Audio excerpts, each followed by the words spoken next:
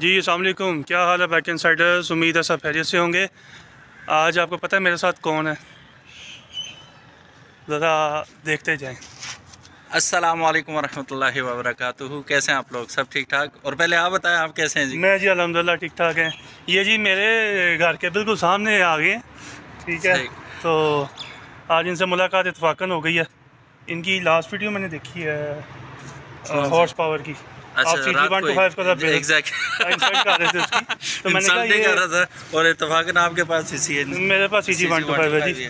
ये ग्यारह मॉडल है। ग्यारह मॉडल माशाल्लाह।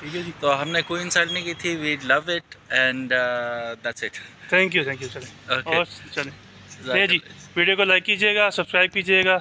चैनल पर नए हैं तो वो जो प्रेस है ना आइकन का उसको कुछ चीज़ दे हमारे बस हाँ। ठीक है जी? ओके अल्लाह हाफिज़। Bye bye bye bye